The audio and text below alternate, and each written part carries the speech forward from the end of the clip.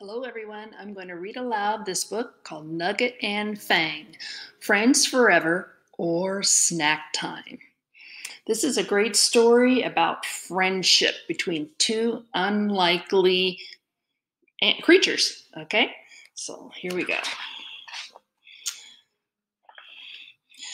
In the deep, deep ocean lived two best friends, Nugget and Fang. They did everything together. They swam over glug. They swam under glug glug.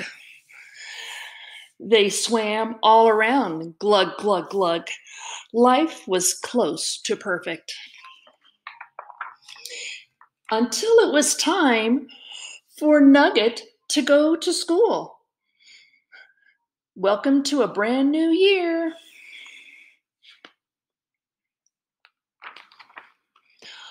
On Monday, Nugget was busy with reading.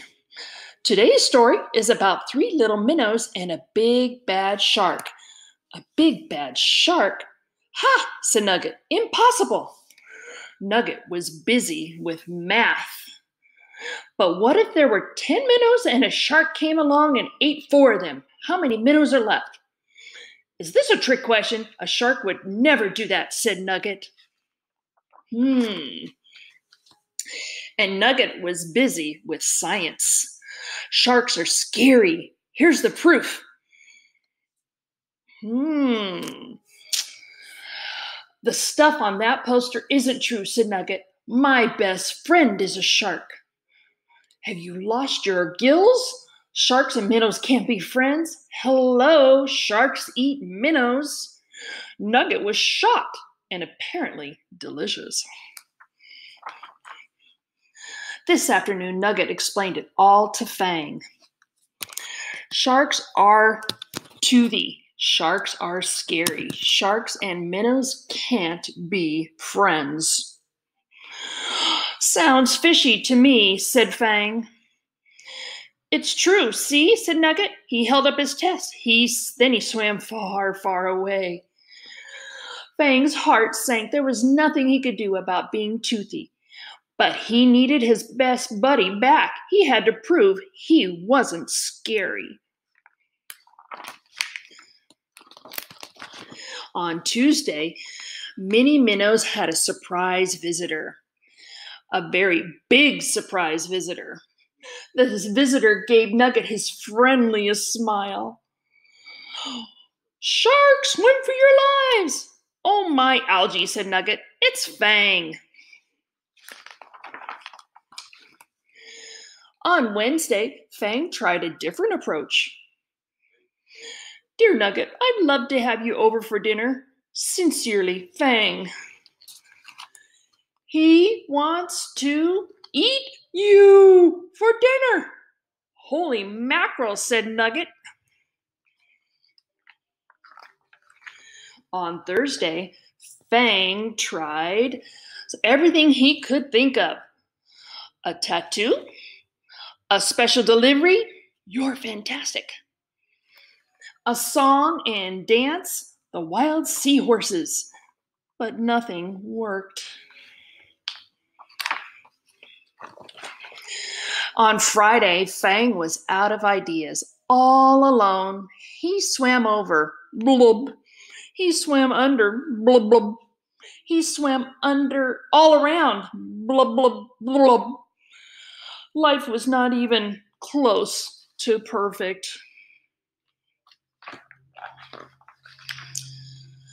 Fang was so busy boohooing, he didn't notice a net drop down, down, down, right on the mini minnows. Oh no! I feel seasick. What's this one say? We're the catch of the day. Oh no! The net pulled up, up, up. Somebody help! Fang squinted. Nugget. He had to do something, but what? Look at all his friends in the net. Fang fanned his gills. He wrung his fins. Then, ping! Fang had a plan. Danger! Shark sighted. Big shark teeth. That was posted by the Mini Minnows. Fang's big sharp teeth chomped. Fang's big sharp, sharp, sharp teeth chewed. Fang saved the mini minnows. All the minnows stared. Hmm. I know, I know, said Fang. I'm toothy, too scary, too shark.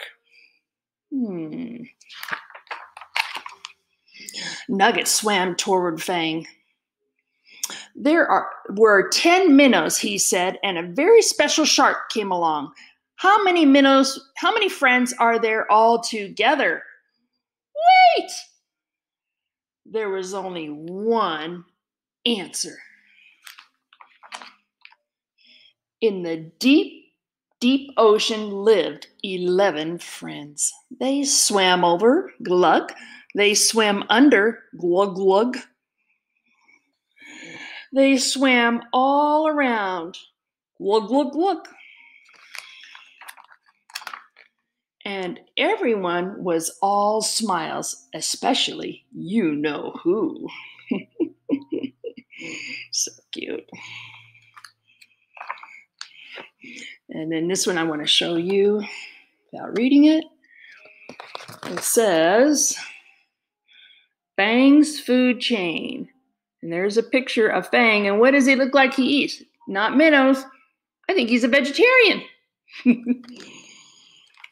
Hope you enjoyed this story between two unlikely friends. Take care, Gators.